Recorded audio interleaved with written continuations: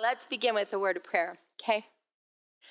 Heavenly Father, I thank you so much for your word. Lord, just it's amazing that every single dot and tittle, Lord, that you had written and recorded in your word is important. And Lord, it has significance in our lives, Lord. Lord, most importantly, we learn about you we learn about your plans and your purposes and how you have that thread of redemption from Genesis all the way through Revelation, Lord. I pray now that you would fall afresh on us, Lord, by your Holy Spirit. That, Lord, the ladies that are in this room, Lord, that your spirit would fill them up, that their ears would be anointed to hear what your spirit has to say to them that the words of my mouth and the meditation of my heart, Lord, would be acceptable in your sight, that I would speak only those words that are pleasing to you. Lord, anything that's of me, Lord, I pray that you would just remove now. And that, Lord, though we can always have a good time with your word, Lord, we know that your word is truth and it's serious and it's something to um, really take to heart. And so, Lord, I pray that you would just minister to your women now, clarify any um, confusion that they might have, Lord. And Lord, if they still have confusion in the group, Lord, I just pray that their group leaders would just have wisdom from on high. Lord, thank you that your word tells us in James that if any of us lack wisdom, we can ask of God. And that goes for every single person that's a child of yours. We can ask of you because, Lord, you desire for us to be wise. So you give us wisdom abundantly and without reproach. We love you. We thank you for that. We ask you now just to bless this time and keep the distractions away. In Jesus' precious name, and everyone said, Amen. Amen. Well, if you guys want to open your Bibles up to chapter 10, we're going to dive right in. Feel free to dive right into that soup that smells delicious. I got to get that recipe. Oh my goodness. But in chapter 10, we encounter another fun and exciting list of names, right? when we come to genealogies, I have to admit that I'm so tempted to just kind of skim over them to see if I can find any names that might be applicable for some future grandchildren or whatever, right? I mean, Shem has kind of a nice ring to it, doesn't it? And I was thinking, well, Shem's a nice name for a future grandchild. But then I learned that the name Shem actually means name in Hebrew. So if my Shem grows up and goes to Israel, then somebody asks him, What's your name in Hebrew? Then he says, My name is name. you know? And so then it becomes kind of like a, a, who's on first bit. So if you're my age group, I'm sure you know what I'm talking about. If you're not, look it up. Okay? then there's Nimrod. Well, even before I understood what a bad dude this guy was, the name Nimrod is just not a name that I'd want to call my grandchild from across a crowded room or the courtyard at church or whatever. It just doesn't have a nice sound to it, does it? It's like, Nimrod, come on, come on, we're going now. It just, it's like, oh, yeah, that one, we got to X that one. And it's a good thing because he's a bad guy too. But really, when it comes down to lists of names in the Bible, sometimes it seems like God cares a lot more about those names than we do. Except, of course, if it's our own name, right? We're always looking for, it's kind of like the pictures, you know, the yearbook. You go and you, what do you do? You look for your picture first, you know? You want people to remember your name. If they don't remember your name, it's a little bit hurtful, you know? I always try to remember everybody's name and call them by their name because it, it's important to me. I know when I go to a restaurant and I, I notice the waiter or the waitress's names, I'll always try to call them, not, excuse me, excuse me. I try to say, Betty or George or whatever, you know, could you, you know, oh, thank you so much, George, or thank you so much, Betty, or whatever, because it builds an immediate rapport when we know somebody's name.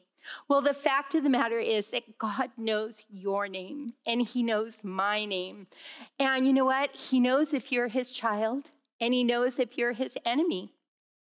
And at the last judgment, ladies, we're all going to realize how important it is that God keeps a list of names, especially the Lamb's Book of Life. You're going to want to make sure that your name's written there. Because if it's not, Revelation chapter 21, verse 8 tells us that everyone whose name is not written in the Lamb's book of, the li- of life will find their place in the lake of fire. Yikes. In Genesis chapter 10, we have this list of names known as the Table of Nations. And God basically lists for us the good guys and the bad guys for our future reference. Here we learn that all the people who have lived on this planet ever since the flood of Noah's day are descendants of Noah, and specifically of one of his sons, Shem, Ham, or Japheth. His chosen people, his enemies, or those who just might be grafted in as family.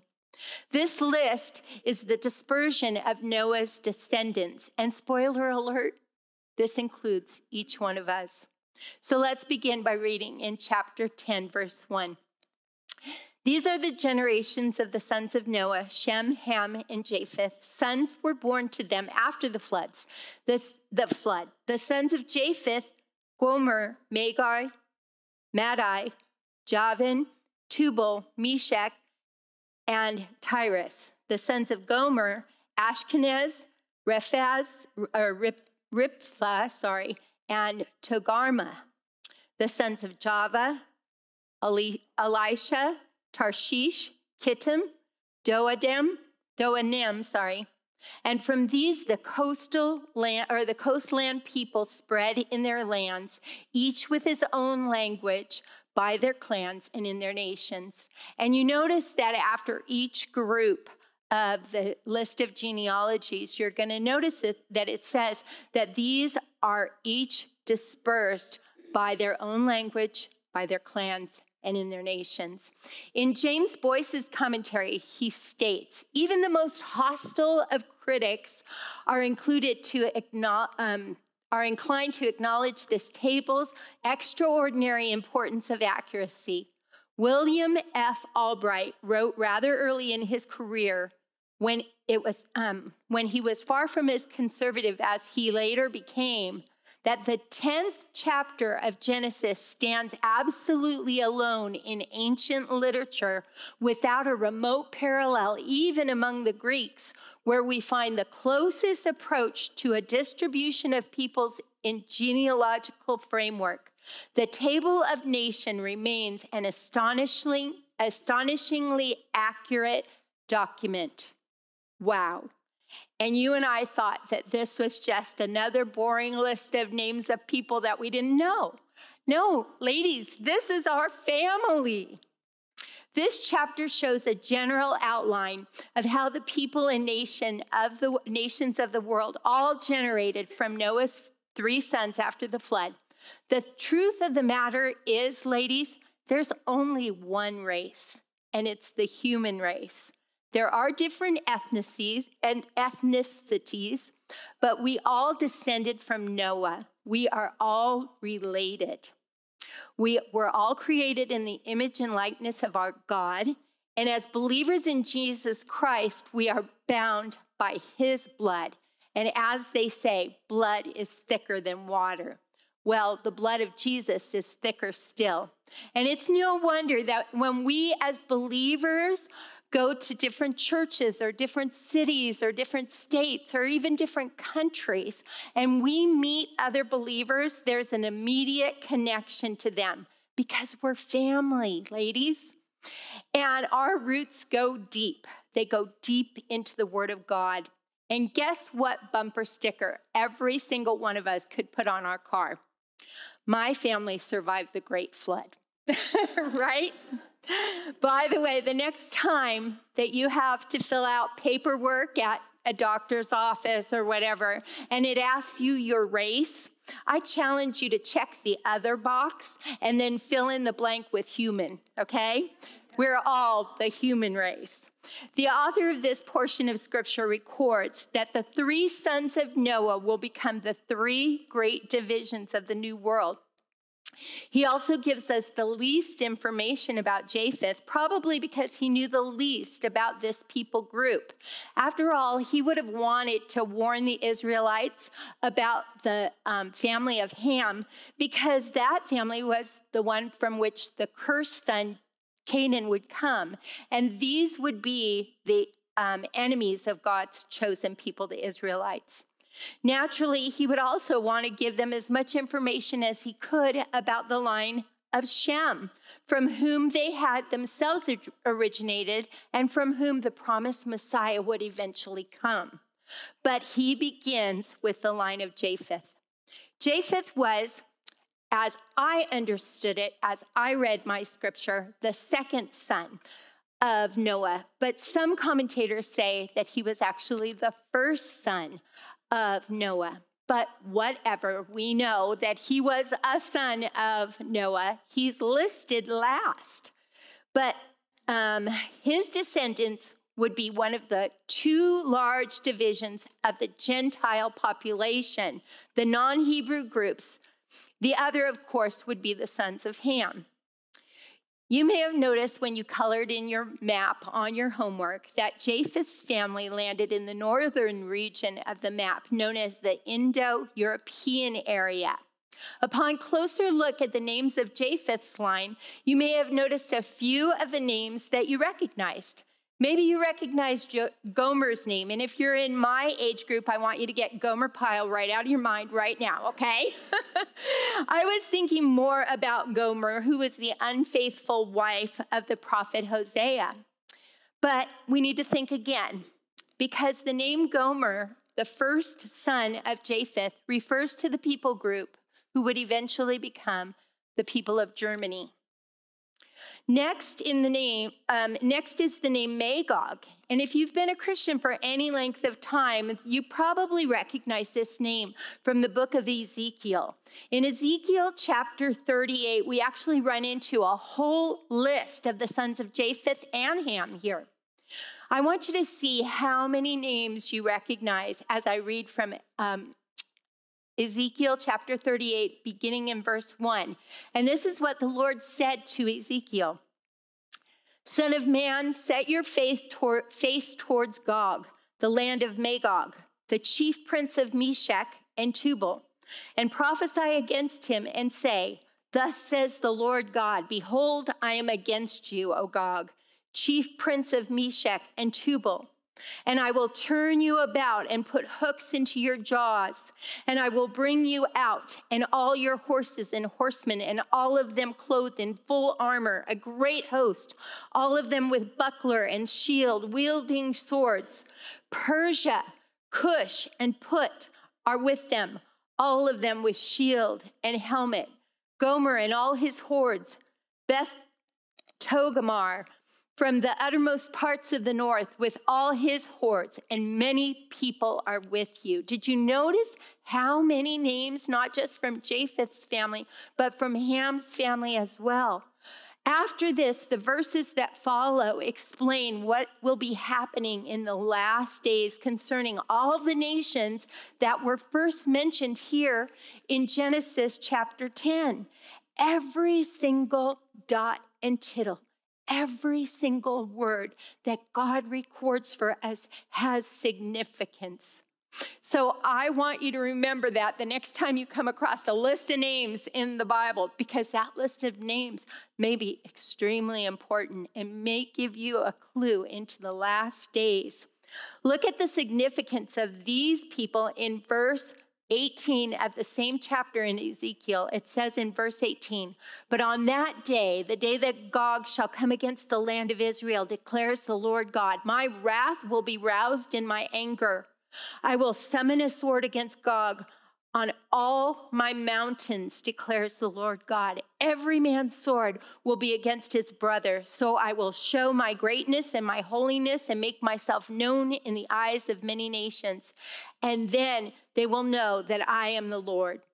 Ladies, in Genesis 10, we learn how the nations were first divided. And in the last days, we will see how God will use those same nations to show his greatness and his holiness to all the people of the world, that they might know that our God is the Lord God.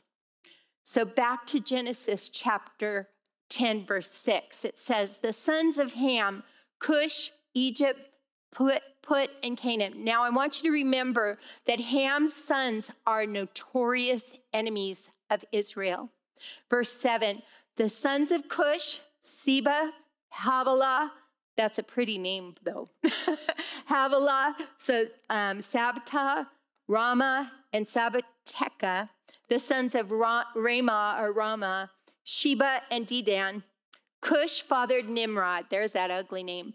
Nimrod was the most notably evil offspring of Cush. His name means we shall rebel. He was the great grandson of Noah and was also the first on the earth to be called a mighty man, but not in a good way like we might be thinking. It says in verse 9, he was a hunter before the Lord, therefore it is said, like Nimrod, a mighty hunter before the Lord. Literally, ladies, he was an arrogant, defiant tyrant before the Lord. He wasn't a hunter like you and I think of a hunter that goes out, you know, chasing down deers for dinner or whatever. He was a hunter of men. He loved to go out murdering and conquering. And then it says in verse 10 the beginning of his kingdom was Babel, which ladies later became Babylon, the archetype of pride, disobedience, and rebellion. Erech, Akkad, and Kala or Kala in the land of Shinar. And by the way, Shinar, they think, was probably the area where the Garden of Eden was. And so, no wonder they wanted to end up settling there in Shinar. It would have been a beautiful plain. Verse 11 says, From that land he went into Assyria and built Nineveh. Remember, this is, we're talking about Nimrod, Nimrod and what he built. And he built Assyria and he built Nineveh. These are two of the horrible, horrible cities that we read about in the Bible. Where have you heard about Nineveh before? Right, in the story of Jonah. And do you remember that Jonah didn't want to go to preach to them? Why? Because they were so evil that he didn't want them to repent. He wanted God's judgment to fall upon them. He ran in the opposite direction because he didn't want to have any part of seeing them get saved. Two of the cities established by Nimrod were two of the most wicked cities to ever exist, and yet God still had mercy, at least on one of them, and that was um, Nineveh. Ladies, how like us, huh? When we hear about somebody evil, you know, we hear about the Jeffrey Dahmers of the world, or we hear about these horrible um, uh, people who go in and kill children, and we we wish for them to be killed. We wish for them to reap God's judgment. And yet, God still has mercy and grace available to them if they will call out to Him. And you know, it's hard sometimes for me to imagine. It's like they need to burn in hell.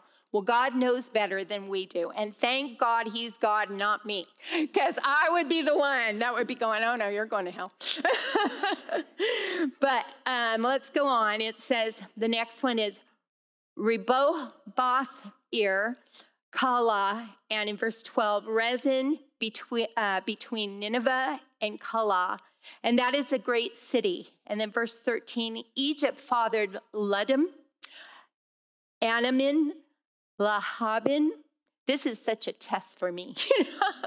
Naphtahim, Pathrushim, and Cashlahim from whom it tells us the Philistines, the Philistines came. And you guys know that also the notorious uh, giant Goliath came from the Philistines. So we see another really horrible enemy of the Israelites. And then there was Caphtorim.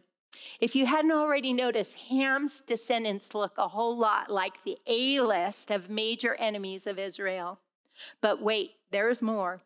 In verse 15, we finally get to Canaan, who was the cursed who was cursed by Noah. Did anyone else in this room wonder why Canaan was cursed and not Ham himself? After all, it was Ham who disrespected his father and exposed his father's sin instead of covering it up like Shem and Japheth did. Well, first of all, let me let you know that our God will never curse a believer. He had already blessed Shem, Ham, and Japheth because they were his children. No, they were Noah's children, and he had blessed them. But they were also all true believers. Remember when Adam and Eve fell in the garden? God cursed the serpent for his part in tempting Eve to sin. But to Eve, he promised to multiply her pain in childbearing, but he didn't curse her. To Adam, he promised to curse the ground so that man had to really work to be able to provide the food for his family, but he didn't curse Adam. It seems that Noah had to look all the way down Ham's line to his youngest son before there was an unbeliever in the family to curse. Also, many commentators believe that Noah pronounced this judgment at the end of his life rather than immediately after the event occurred. So it's possible that when Noah cursed the um, Canaan, he was cursing the nation of Canaan and not the person of Canaan, which seems to be evident in the fact that the whole nation became servants of the Israelites. And what a good reminder for us, ladies, that Love covers a multitude of sin, it doesn't expose it. By the way, that doesn't mean that we cover up sin. We know from Galatians chapter 1 that if we know a brother or a sister who is caught up in any transgression, it tells us that we who are spiritual are supposed to restore such a one in the spirit of gentleness. Ladies, we have a responsibility to correct and seek to restore a fallen brother or sister but we're to consider our own propensity towards sin so that we will be discreet and will be gentle. I always think of prayer as the anesthesia that we need to use before we go in with the scalpel of God's word to cut away the infection of sin in another believer's life. I'm sure that none of you would volunteer to have major surgery without any anesthesia. You know, I'm having brain surgery. Go ahead. I'm tough. Just go ahead and do the surgery. No, we all want that anesthesia. Put me out. I don't want to hear it. I don't want to know what's going on. In the same way, ladies, I pray that each and every one of us will remember before we go in if we have to correct a brother or sister that's in sin, that we will pray, that we will administer a large dose of anesthesia before we go in with the scalpel of God's word. Galatians chapter 6, verse 3 through 4 continues. It says, For if anyone thinks that he's something when he's nothing, he deceives himself. But let each one test his own work and then um, his reason to boast will be in himself alone and not in his neighbor. What this means is that when we confess our sins, as it tells us in 1 John chapter 1, verse 9, that God is faithful and just to forgive us our sins and to cleanse us from all unrighteousness. What God has forgiven, ladies, we have no right to bring back up. Don't use the sin of another to make yourself look better, which it seems is what may have been Saint um, Ham's major sin that caused him to be cursed. Not only did he see the nakedness of his father, but he used it as an opportunity to look better to the rest of the family. Look, dad sinned. I didn't do this. You know, he's drunk over here. So he was mocking his father and he was usurping authority, which makes sense then that the curse would be that his son, his son's family line would be slaves because they were trying to usurp authority. So the very opposite of usurping authority is becoming a slave. And that's what we're all called to be in a sense. We need to be bond servants of Jesus Christ, right? So it's not a curse that we are called to be servants of Jesus Christ. Um, verse 15 continues. It says, Canaan fathered Sidon, his firstborn, and Heth. Verse 16, and the Jebusites. Now, side note, ladies, the Jebusites lived in the most sacred city, Jerusalem, for many, many years, although they were the most wicked of Israel's enemies. The Amorites, the Girgashites, the Hivites, the Arkites, the Sinites, the Arvadites and the Zemarites and the Hamathites and the Parasites, too. But anyhow, this is Israel's most wanted list. These are Israel's worst enemies, and the list will be repeated 19 other times in the Old Testament. It goes on, it says, Afterward, the clans of the Canaanites dispersed in verse 19, and the territory of the Canaanites extended from Sidon in the direction of Gerar as far as Gaza. Where have we heard of Gaza recently? And in the direction of Sodom and Gomorrah, where have we heard of Sodom and Gomorrah? Two more very evil cities Admah, Zeboim, as far as Lasha, verse 20. These are the sons of Ham by their clans, their languages, their lands, and their nations. Now, in our homework, ladies, we studied an explicit list of behaviors that were never to be practiced because they were so such wicked practices of these people in the lands. Leviticus 18 listed those sins for us. And I'm not even going to mention them here, but I will tell you that some that are mentioned are being celebrated in our country by the LGBTQ plus community and even by the general population in our colleges and our universities today. Finally, we get to the godly line of Seth in verse 21. It says, To Shem, I'm sorry, I said Seth, I meant Shem. To Shem also, the father of all the children of Eber. Now, from Eber, we get the root word for, the, for Hebrews. So Moses was pointing out to us that all the children of Eber are children of Israel or they're Hebrews, okay? To Shem, the elder brother of Japheth, that's why I think that Japheth was younger than Shem, but others say that it's supposed to be written differently. But nevertheless, to Shem, the elder brother of Japheth, children were born. Verse 22 the sons of Shem, Elah, Elam, Asher, Arpachshad, Lud, and Aram, the sons of Aram. And from, from the sons of Abraham came the Arameans or the uh, Syrians. And we remember those again. The Syrians show up in, in the Old Testament often. Sometimes they're actually supportive of Israel. So, um, Uz, Hul, Jeff, Jether and Mash, Ar, um, Arpachshad fathered Shelah. Shelah fathered Eber. To Eber were born two sons. The name of one was Peleg, for in his days the earth was divided. Now, this is just a time reference for us, ladies, to remember what's coming up. What's coming up? The story of the Tower of Babel. So he says, when Peleg was born, that's when the Tower of Babel occurred, okay?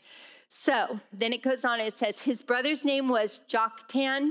Joktan fathered Almadad, Shelah, uh, Shelef, Hazarma. See, this is such a test for me. Hazarmaveth, Jerah, Hadaram, Uzal, Diklah, Obal, Abimiel, Sheba. Now, you may recognize this name because the most famous of the line of Sheba was the Queen of Sheba. Remember that? And she came to King Solomon, remember? And she and Solomon showed her all that she had. She said, "I heard of your wisdom, but I I didn't even hear the half of it. This is amazing." She was a wonderful woman. Um, verse 29 goes on Ophir, Havilah, and Jobab. Now, these are some names you can name your kids or your grandkids, okay? Those, these are great names. All of these were the son of, sons of Joktan who settled in the Middle East. So these are all the Israelites here. Verse 30 the territory in which they lived extended from Mesha in the direction of Sephar to the hill country of the east, and these are the sons of Shem by their clans, their languages, their lands, and their nations. Verse 32 These are the clans of the sons of Noah according to their genealogies in their nations, and from these nations um, spread abroad on the earth after the flood. Now, the, this is a list of 70 names in the table of nations, and it signifies completeness, but not that Moses gives us the name of every child that was born to, no, or, yeah, to Noah and his family, but rather that all the nations are accounted for. Okay, so the fact that there's 70 names here shows us it, it's a reminder of completeness. Remember that we learned that seven is a number of completeness, 10 is also a number of completeness, and then you multiply them together and you get the number 70. So again, we get completeness. Then it's, uh, Canaan was cursed, and yet for hundreds of years, this nation lived in what would be known as the promised land. But when Joshua led the children of Israel into the promised land, the curse of Noah was fulfilled, and the Canaanites became servants to God's chosen people. Blessed be the God of Shem, the godly line, the line of promise, the Hebrew people. Some of you have, may have heard years and years ago, and I hate to even bring this up, but I'm going to bring it up. But years and years ago, somebody decided that the curse of Ham meant because a lot of Ham's uh, relatives ended up in the region of Africa, that it was all black people. And that's why it was okay to have anybody with black skin as a slave. And that only proves the sin of even those commentators because the curse was to only Canaan's family. Canaan's family ended up in the promised land. They weren't even close to um, Africa. So they would not have had black skin.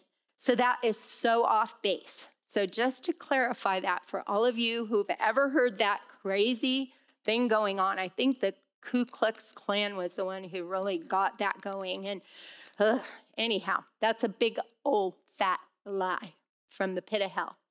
So before we get to the Tower of Babel in chapter 11, let me point out one more thing about Noah's son Japheth.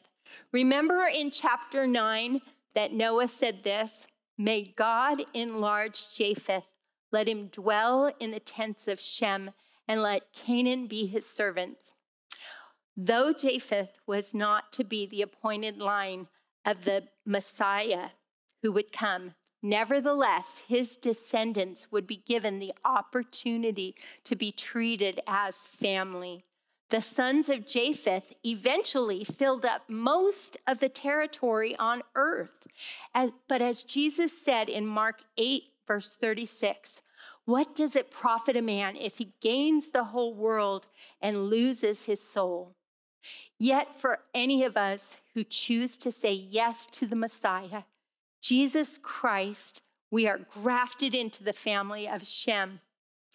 Who are these people who are welcomed and treated as family? Ladies, this is us. God includes us. Those who were afar off are brought near.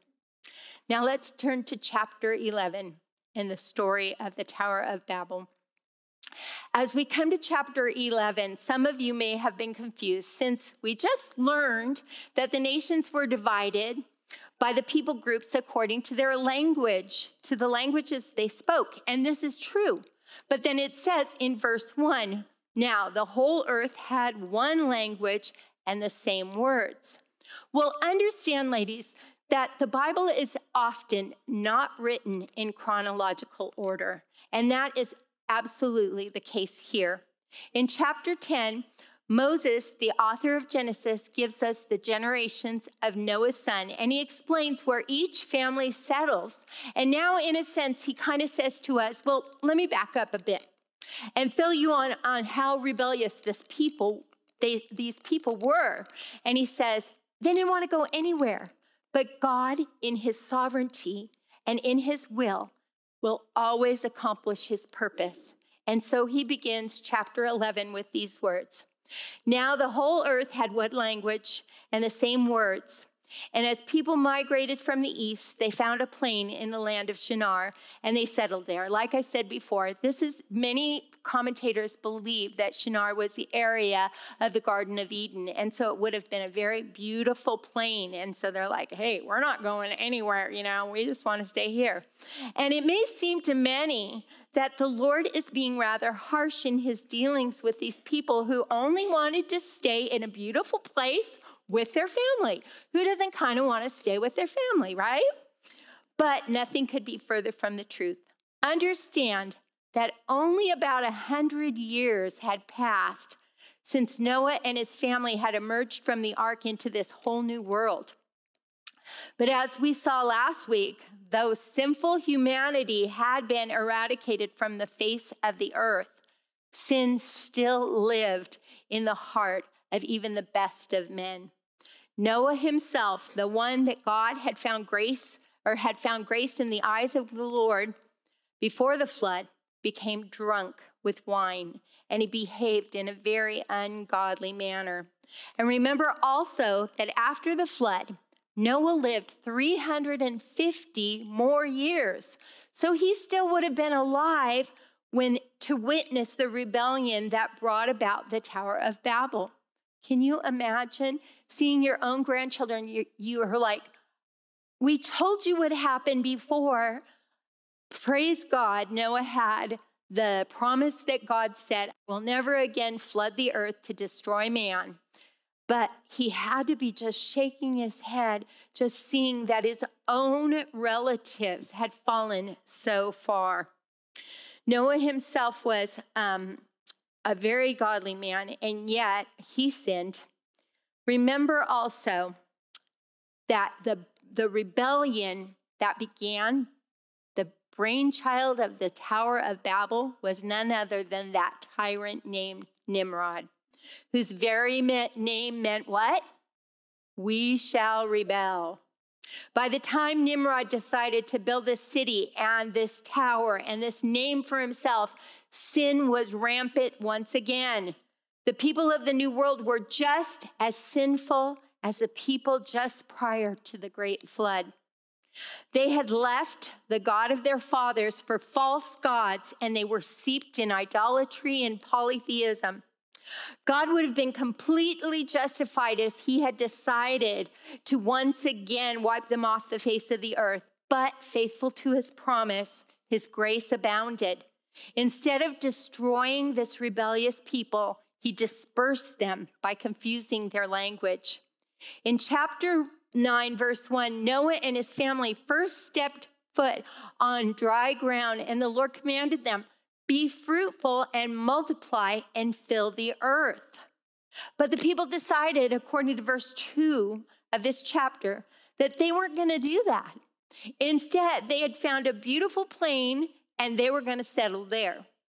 We began to understand the depths of their rebellion when we read the language that mimics the language of our great God as he counseled together with the Godhead, the Father, the Son, and the Holy Spirit as they created man. Remember, he said, Come, let us make man in our own image.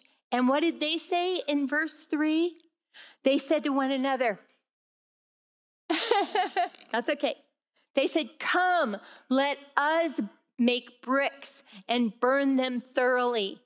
And they had brick for stone and bid, well, it's tar. That word is tar, okay? For motor, motar. Um, then they said, Come, let us build for ourselves a city and a tower with a top in its heaven in the heavens, and let us make a name for ourselves, lest we be dispersed over the face of the whole earth. They were so determined to do what they wanted to do that they were willing to go to all the trouble to make bricks when they couldn't find stone there. They didn't even care that it was hard work to rebel against God. They just wanted to do what they wanted to do. And isn't that just how the enemy works, ladies? Sin takes so much effort. You, you know, you lie and you because you want to make yourself look a little bit better than you really are. And then you have to remember the lie that you told to someone. And then you have to remember the lie that you had to tell to cover up this lie and that lie and so on and so forth because you don't want to get found out. But then one lie becomes another and another and another. And as Sir Walter Scott so famously said, Oh, what a tangled web we weave when first we practice to deceive. Another very wise man, my husband, Dennis Davenport, has often said, Sin makes you stupid. Why? Because it takes you farther than you wanted to go. It keeps you longer than you wanted to stay, and it costs you more than you ever thought you would have to pay. These people were so sin stupid that they wanted to, number one, put down roots against God's will by building a city. Number two, they wanted to ascend to the heavens by building a tower, creating their own brand of religion. And number three, to bring glory to themselves by making a name or a Shem for themselves. Building a city wasn't the problem in and of itself, ladies. It was that God said go, but they said no. This is a picture of self sufficiency, and that's where Satan gets all of us. We all want to do it ourselves. You know, it starts when we're babies, isn't it? I can do it. I'll never forget when Jacqueline's youngest, Finley, was about probably 18 months old, and I took her to the country club one time. And I took the, all the kids swimming, and um, I was putting on her little floaties. And she's like, No, Nana, I can do it. I can do it. And I go, Oh, you can, huh? And I was a lifeguard when I was a kid. And so they always said, You know what? Just let them see that they can't do it and then they'll you know let you help them and stuff. And so i said go right ahead. And so she goes in and she's under the water you know blah, blah, blah, and so i pick her up and she goes i got this nana i got this. I'm like oh my goodness. She still didn't see her need for help. How often do you and i do the same thing? God speaks to us through his word, and we refuse to obey, thinking that we are the exception to the rule. As the old saying goes, if you say go, I will go. If you say stay, I will stay. Ladies, self sufficiency is the enemy's tool. Jesus said, um, or tells us in John 15, verse 5, I am the vine, you are the branches. If a man remains in me and I in him, he will bear much fruit. But apart from me, you can do what? Nothing. Building a tower wasn't the problem. It was their desire to glorify themselves rather than glorify God that was the problem. It reminds me of someone else in scripture who wanted to ascend the heavens. In Isaiah chapter 14, verse 13, speaking of Lucifer, that angel of light who wanted to become not just like God, but God himself, it says, you have said in your heart, I will descend to heaven above the stars of God. I will set my throne on high. But then it tells us in the very next verse, but you are brought down to Sheol, to the far reaches of the pit. We no longer know Lucifer as the angel of light, but rather Satan, the great deceiver. As I said before, sin makes you stupid. And the people decided to build a tower or Better yet, it was called a ziggurat, which looked a whole lot like a pyramid, but it had stairs up to the top. I'm sure they were completely amazed at their incredible building abilities as they stood back and they admired their stairway to heaven. But guess what? According to verse 5, God still had to come down to see their work. You see, we know now, since we've put men on the moon, how ridiculous it was for them to think that they could build a tower whose top would reach the heavens. Even the tallest buildings on earth cannot be seen from outer space. Yet, haven't we all at some time or another attempted to showcase our own great ability at this thing or at that, only to find out how very limited our abilities really are. God warns us in Proverbs chapter 16, verse 18 pride goes before destruction, and a haughty spirit before a fall. He also warns us in Isaiah 42, verse 8 I am the Lord, that is my name. My glory I will not share with another, neither my praise to graven images. Every time we start our day without prayer, ladies, without seeking God's wisdom and guidance for where we should go, what we should say, what we should do, we're showing our self sufficiency and we're robbing God of the glory that's due to his name. God is so gracious. In verse 6, he says, Behold, they are one people and they all have one language. And this is only the beginning of what they will do. And nothing that they purpose to do will now be impossible for them. Come, let us go down and confuse their language so that they may not understand one another's speech. Now, I want you to understand, you know, linguists um, with the whole evolution theory and all that, they believe that languages evolved.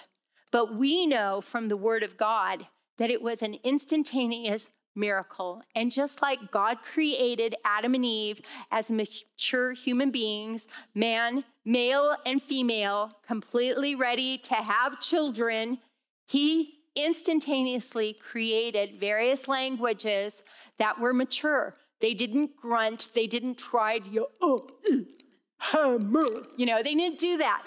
They immediately could speak in the various languages. But can you imagine how crazy it would have been when they suddenly realized that they couldn't speak to the person next to them, that they spoke a different language? They had to go find somebody from their immediate family in order to be able to communicate.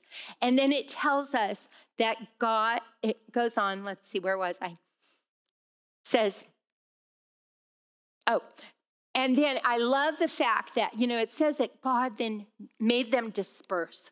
Well, just because they had various languages, they might have still hung out there. Well, we really like this area.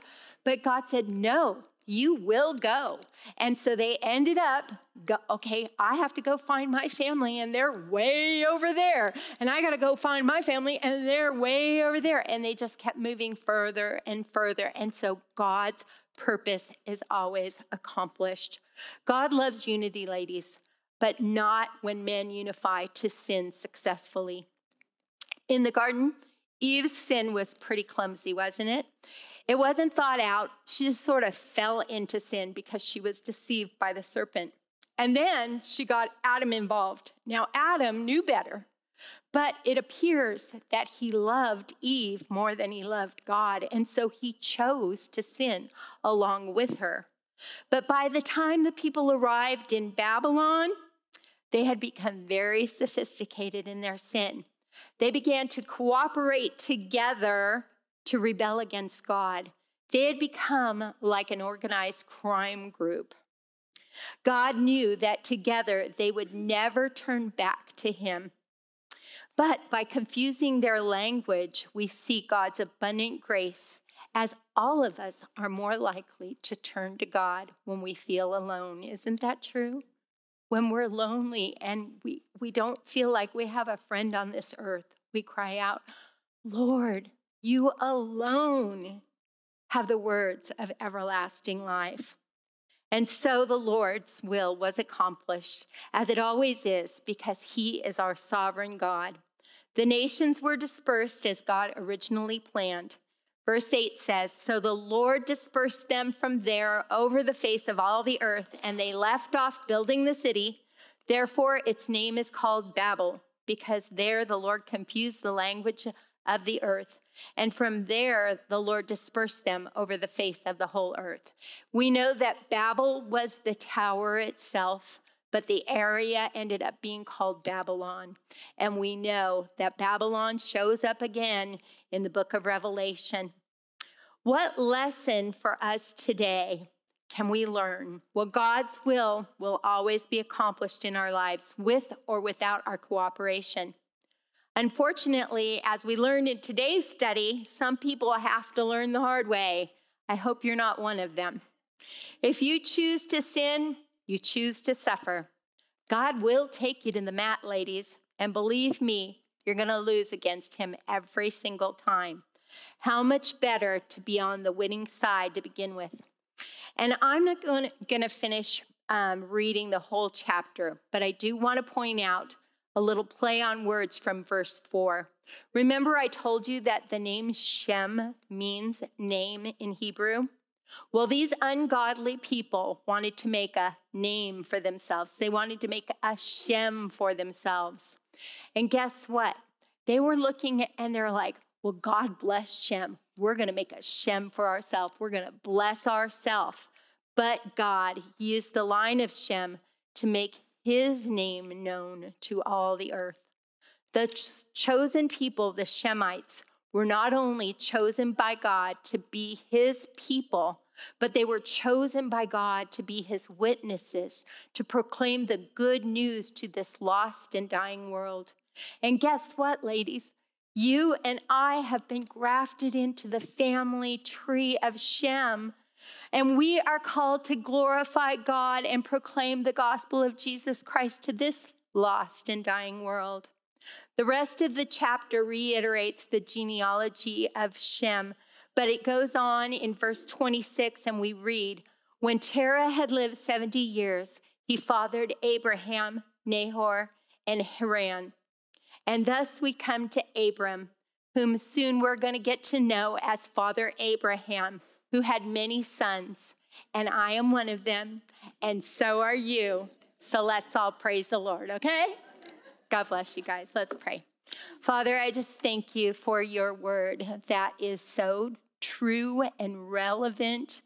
And Lord, we just see the prophecies coming to fulfillment. We see Gaza, what's going on over there in the Gaza Strip. We pray for the innocent people there, but we also pray for Israel. Lord, we know that you have your hand on that people and on that land, and you gave them that land. And so, Lord, we pray that you will be with Israel, that you will strengthen them, that you will protect them. And Lord, we pray for Hamas, Lord, we pray that they, many of them might come to you, Lord. I, I heard recently of a son of a Hamas leader who turned to you. And God, we pray that you, by your Holy Spirit, might do that mighty work. Thank you for these ladies. Let them be excited that, Lord, you saw them way back in Genesis chapter 10. And even before that, Lord, you knew how many hairs would be on their head and you know their name. Lord, I pray that every lady in this room's name is written in your book of life. And Lord, thank you that your word tells us that you who've begun a good work in us is faithful to complete it. In Jesus' name. And everyone said, Amen. God bless you guys.